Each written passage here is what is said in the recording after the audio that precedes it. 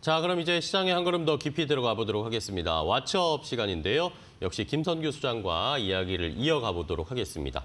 자, 소장님 어제 또 중국에서는 금리 동결, LPR 금리를 동결한 소식이 전해졌습니다. 지난주에는 미국이 금리를 전격적으로 인상을 했고 어, 중국도 일단은 최근 계속 어, 금리를 좀 동결시키고 있는 상황이더라고요. 네, 지금 가장 큰 이슈가 역시 이제 미국의 자이언트 스텝이지 네. 않습니까? 영준 0.75% 그러니까 75bp를 한 번에 땡겨 올리다 보니까 여기에 대해서 그 여파가 다른 나라들에도 이제 퍼져 나가고 네. 있고 그다음에 지금 중국이 지금까지 해가지고 재밌는 거는 계속 경기 부양책을 써왔지 않습니까? 그리고 완화 정책을 펴가지고 지금까지 오히려 그 많은 돈을 풀었는데 이제는 여기에 대해 가지고 조금은 좀 어, 멈칫하고 있는 음. 그런 움직임을 이번에 보였다는 게 굉장히 중요하다고 볼 수 있습니다. 네.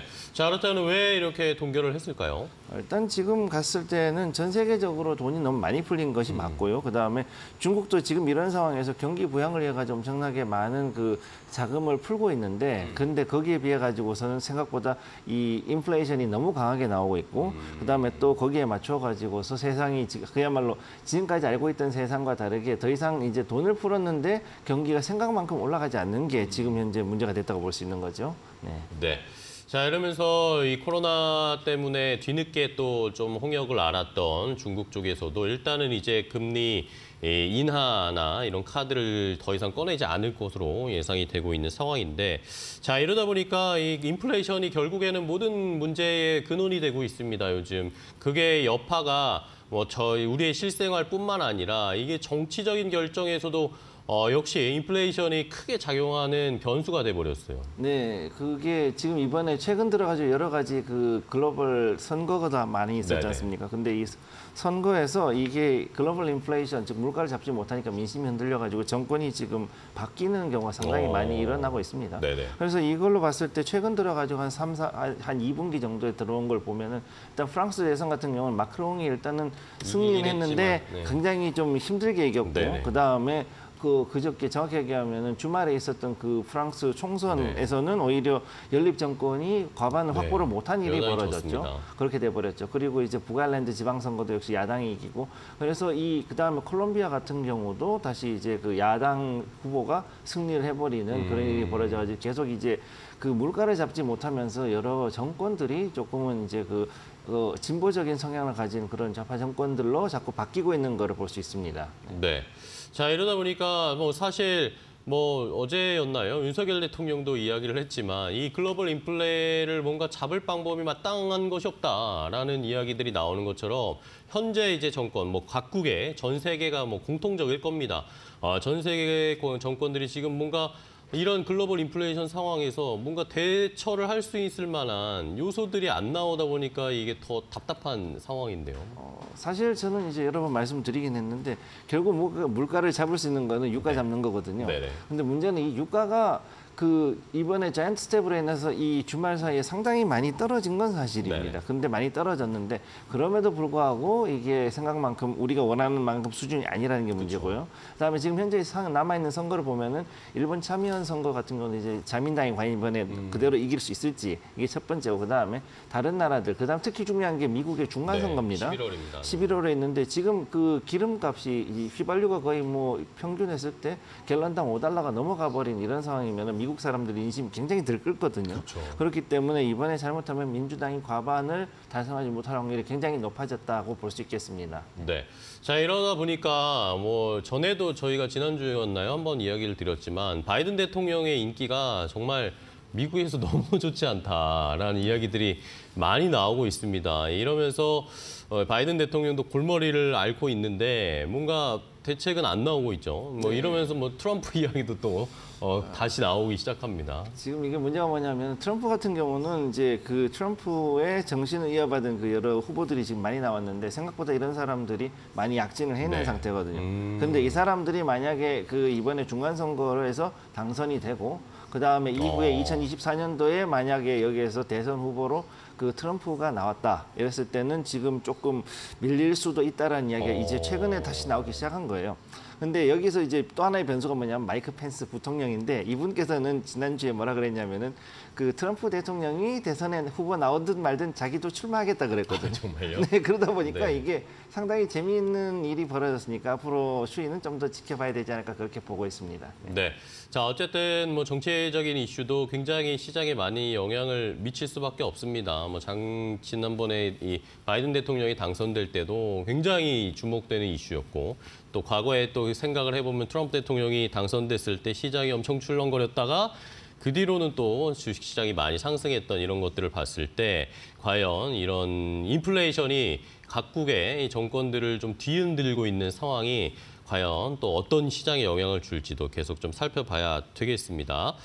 자, 이런 상황에서 또 이제 저희가 살펴봐야 될 것은 어제 우리 시장이 너무 워낙 또 힘들었습니다. 뭐 여러 가지 변수들이 복합적으로 작용했다라는 것도 있었지만 어제 특히 오후 2시부터 갑작스럽게 또 큰 폭의 좀 하락이 있었기 때문에 많은 분들이 너무 놀라셨어요. 아, 일단 그 시간대면은 보통 이제 stock loan이 터져 나오는 네. 시기인데 이게 신용을 해가지고 그 이전에 삼성전자에도 엄청나게 많은 개인 투자자들이 그 stock loan까지 동원을 해가지고 갔다가 이번에 신용 물량들이 한꺼번에 터져 네, 나온 거죠. 그러니까요. 그리고 또 여기다가 지금 외국인은 여기에 맞춰 공매도까지 지금 집어넣고 있다 보니까 상당히 그 과매도가 발생을 해버렸고 그래서 이로 인해서 코스피가 2,400선이 지금 무너졌는데 네. 오히려 지금 이 상황에서는 잠시 외국인들이 short covering이 들어오면서 기술적 반등이 다시 들어올 가능성이 오늘은 좀 높다고 볼 수 있습니다. 음. 어. 그렇기 때문에 어제 보시게 되면 일단 개인하고 기관 이 어느 정도 사고 그 다음에 이제 외국인들은 대규모로 매도 즉 공매도가 들어가 있는 상태니까 이거에 대해서 어, 이번 오늘 같은 경우는 오히려 약간의 반등이 나오지 않을까 저는 그렇게 보고 있습니다.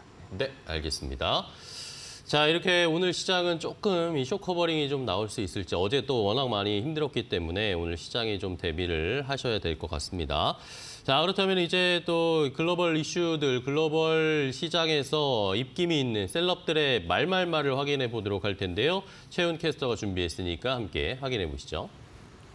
안녕하십니까. 셀럽은 말했지 최유은입니다. 오늘 첫 번째 셀럽의 발언은 수소 전기 수소차와 관련된 이 셀럽의 발언입니다. 이 볼보 자동차가 전체 성명에서 이와 같은 이야기를 밝혔습니다. We had begun to test vehicles. 우리는 수소로 구동되는 연료 전지를 사용하는 차량을 테스트하기 시작했습니다. 이는 1000km까지 혹은 621마일을 약간 넘게 달릴 수 있습니다라는 새로운 내용을 발표를 했습니다.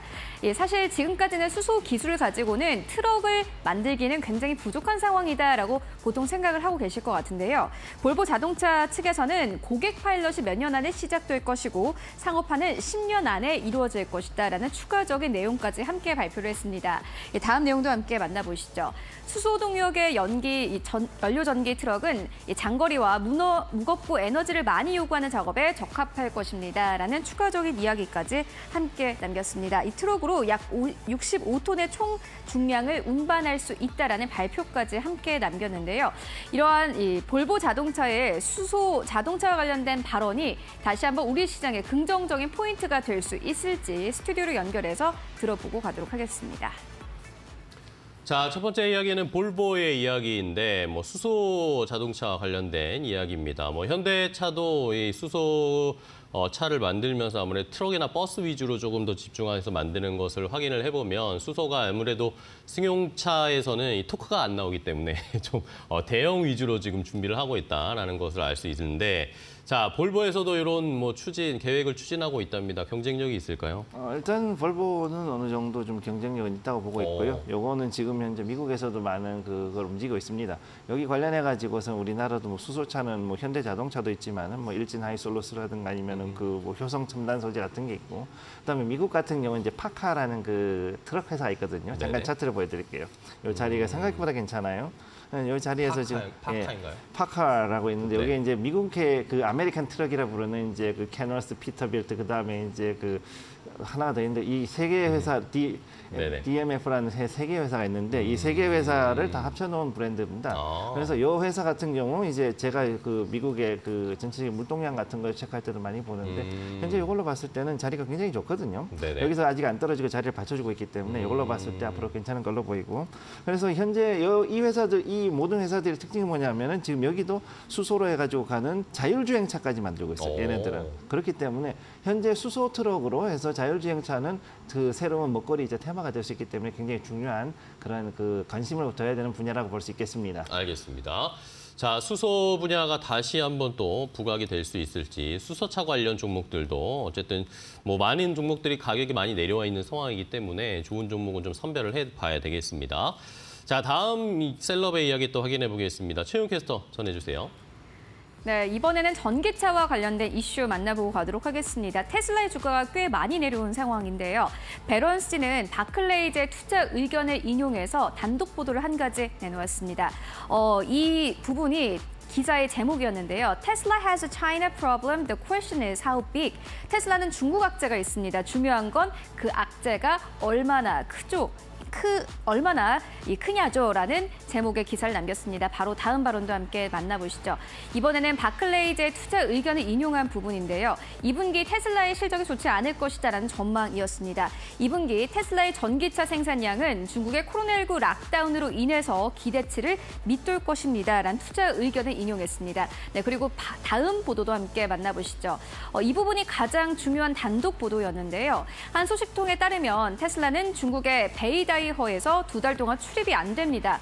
중국 지도자들이 회의를 개최하기 때문입니다. 라는 단독 보도를 로이터 통신과 함께 내놓았습니다. 그 이유는 테슬라에 이 현재 달려있는 카메라 때문이었는데요. 만약에 이게 사실이라면 테슬라가 중국 안에서 존재감이 지금보다 더 낮아질 수 있다라는 전망들이 현재 나오고 있습니다. 어, 과연 이러한 부분들이 정말 큰 문제일지 스튜디오로 연결해서 들어보고 가도록 하겠습니다. 자, 다음은 테슬라 이야기인데 테슬라의 주가가 어느새 650달러대까지 내려와 있는 상황입니다. 뭔가 좀 반등이 나타날 수 있을지 아니면 여전히 하락세가 이어질지 어떻게 보십니까? 지금 그 테슬라 같은 경우는 이제 경쟁력을 되게 많이 잃었죠. 그런 상황이기 때문에 여기에서 그 내놓을 수 있는 게 우선 자율주행 부분이 과연 얼마나 더 올라갈 수 있을지, 그 다음에 얼마나 더 효율적으로 이제 배터리를 만들어내는지가 가장 큰 관건입니다. 그래서 지금 현재 4680 배터리를 우리나라에서 지금 뭐 여기에 대해서 뭐 손대고 있는 업체들이 좀 있고 SK라든가 이런 데가 좀 있고요. 그다음 또 이런 가운데서 어느 정도 그 운행 거리가 좀 더 늘어나면은 약간 더 거기에 대한 경쟁력을 가질 수 있는데 그게 아니라 그러면 이제는 거의 비슷비슷한 상황으로 도달했습니다. 실제로 그 오늘 같은 경우 보면 이제 포드 하고 GM이 이제는 그 픽업 트럭 분야에서까지 그 이런 그 전 이런 경쟁이 전기차로 경쟁이 넘어갔기 때문에 이걸로 봤을 때는 이제는 테슬라가 어 단순히 중국에서 생산하거나 이렇게 가지고 가, 가격을 떨구는 원- 원가라든가 이런 걸 떨구는 정책만 가지고선 이제 한계에 왔고 이제 애플 같은 또 다른 혁신적인 어떤 그 가치관이라든가 아니면 어떠한 기능들이 추가가 되지 않다 그러면은 당분간은 조정받을 수밖에 없다라고 보고 있습니다. 네. 자, 뭐 삼성에서도 이 테슬라를 분해해서 한번 다 조사를 해봤다라는 이야기가 나오는 것처럼 테슬라를 이제 많은 전기차 업체들이 따라잡고 있는 상황입니다. 그러다 보니까 앞으로 테슬라가 뭔가 또 혁신적인 이 뭔가를 보여주지 않기 보여주지 않으면 추가적인 뭐 상승은 쉽지 않을 거다라는 그런 의견, 김성규 소장의 의견까지 체크를 해봤습니다. 자, 그럼 마지막 셀럽 이야기도 확인해 보겠습니다. 마지막 셀럽은 누굴까요, 최용 캐스터? 네, 앞서서 김성윤 소장님께서는 인플레이션이 민심을 뒤흔든다라는 부분을 전해주셨는데요. 조 바이든 대통령은 이 인플레이션 잡기에 나섰습니다. 저희가 어제 같은 시간에 바이든 대통령이 정유사들을 겨냥하고 나섰다라는 부분을 전해드렸는데 아마 이 때문이었을 것 같습니다. 조 바이든 대통령은 현지 시간 6월 20일에 델러웨어주 레호베트 비치에서 이와 같은 이야기를 남겼습니다. 해변가 중간에서 왜 이러한 이야기를 남겼을까라고 궁금해하시는 분들 많을 것 같은데요. 이 해변가에서 기자들을 맞닥뜨려서 기자들의 질문에 대답을 했다고 합니다. 이 백악관은 7월 4일 휴가를 앞두고 연료비 부담을 덜기 위해서 연방 유류세 한시 면제를 진지하게 검토하고 있습니다라는 발언을 내놓았습니다. 다음 발언도 함께 예, 만나보시죠. I hope I have a decision based on data. 저는 데이터에 근거한 결정이 내려지길 바라고 있습니다라는 발언까지 함께 남겼는데요. 바이든 대통령은 이번 주에 석유 주요 CEO들을 만나서 관련된 이야기를 논의할 예정이라고 합니다. 어, 과연 이러한 부분들이 좀 해결이 되면은 CPI 지표와 PPI 지표가 조금 지금보다는 나아질 수 있을지 마지막으로 스튜디오 연결해서 들어보고 가도록 하겠습니다. 자 마지막 이야기는 바이든 대통령의 이야기인데 진지하게 뭐더 빨리 했어야 되는 거 아닌가 하는 생각도 들고 아무래도 뭐 이 인기나 이 지지율을 많이 의식하는 것 같습니다. 지금 가장 큰 문제가 뭐냐면은 이, 이 유류세 내리는 건 좋은데 네. 유류세가 정말 우리나라에 비하면 턱없이 낮거든요. 그러다 보니까 이건 낮춰도 이게 효과가 별로 없다. 효과가 없다는 게 가장 큰 문제가 네. 되겠습니다. 지금 그 웃기는 얘기를 하나 해드리자면 일단 디젤이 일단 우리나라보다 비싸니까 미국 얘기를 잠깐 네네. 하자면은 미국 같은 경우는 이제 면세유가 그러면 이제 다이 디젤 그래가지고 약간 빨간색으로 이제 염색을 그러니까 거기다 색소를 좀 집어넣은 그런 음. 디젤을 팔거든요. 그럼 이걸 가지고서 한 보통 이제 농사 이제 농업용 그 면세유라든가 다른 그 연방 정부에서 하는 그런 일에 이런 그 다이 디젤을 이제 보통 지급을 하는데 저 이게 일반 시중하고 비교했을 때 한 40센트 정도밖에 차이가 나지 않아요. 아. 그러다 보니까 그게 이제 이- 그런 상황이다 보니까 지금 현재 이 5달러가 넘어가는 그런 상황에서 휘발유겠지만은 여기에 대한 세금이 빠진다 그래도 그렇게 큰 효과가 나지는 않는다라는 게 문제의 본질이라고 볼 수 있겠습니다. 알겠습니다.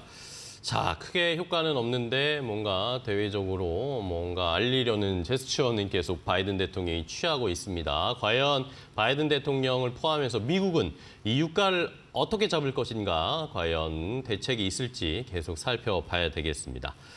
자, 오늘 김선규 소장과 함께 이야기를 나눠봤습니다. 오늘 또 재밌는 이야기 들려주시고 이 경제적 insight 주셔서 너무 감사하고요. 내일 아침에 또 뵙도록 하겠습니다. 선생님 고맙습니다. 고맙습니다. 감사합니다.